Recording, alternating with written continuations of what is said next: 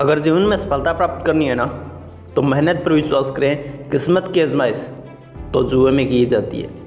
जिनमें शांति चाहते हो ना तो दूसरों से शिकायत करने से बेहतर है। खुद को बदल लें, क्योंकि पूरी दुनिया में कारपेट बिछाने से खुद के पैरों में चप्पल पहन लेना अधिक ठीक रहता है।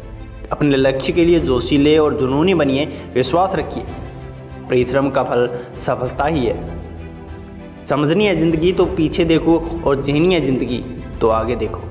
घायल तो यहाँ हर परिंदा है, मगर जो फिर से उड़ जाए, वही ज़िंदा है।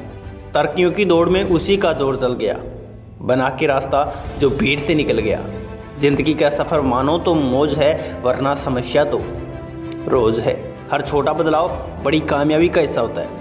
जो रातों को कोशिश में गवा देते हैं, वही अपने सपनों को चिंगारी की हवा देते हैं। अकेले ही तय करने होते हैं, कुछ सफ़र ज़िंदगी के हर सफ़र में हम सफ़र नहीं मिला करते।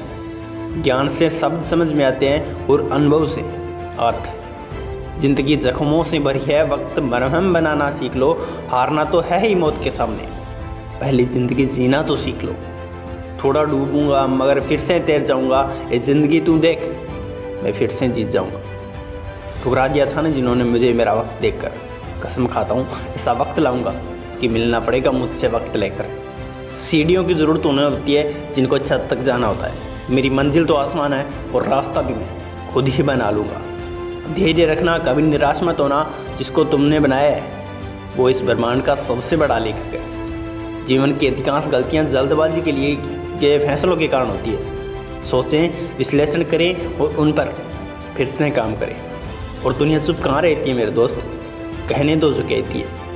मैं शुक्रगुजार उन तमाम लोगों का हूँ जिन्होंने बुरे वक्त में मेरा साथ छोड़ दिया था, क्योंकि उन्हें भरोसा था कि मैं मुसीबतों से अकेला ही निपट सकता हूँ। मुसाफिर कल भी था और मुसाफिर आज भी हूँ। कल अपनों की तलाश में था, आज अपनी तलाश में। अक्सर अकेलेपन से वही गुजरता है जो ज़िंदगी में सही फैसले को सुनता है। भाग्य से जितना उम्मीद रखोगे ना, वो इतना ही निराश करेगा। कर्म में विश्वास रखो, आपको अपनी अपेक्षाओं से सदैव अधिक मिलेगा। जो अपनी गलतियों से सीखता है और दूसरे तरीके अपनाता है, वही सफल होता है। ज़्यादा बात करने वाले कुछ नहीं कर पाते और कुछ कर दिखाने वाले ज़्यादा बात करने में यकीन ही नहीं रखते। जिस काम में काम की हद बार ना हो, वो काम किसी काम का नहीं।